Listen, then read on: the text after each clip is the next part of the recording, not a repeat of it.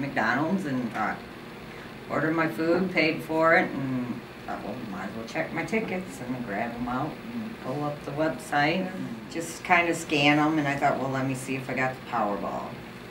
I had the Powerball, and I noticed I had three numbers.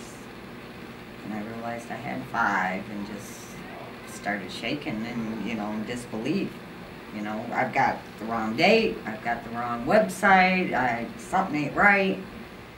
So I go back to work and, you know, have them check it out and, you know, they, you won, you know, you won.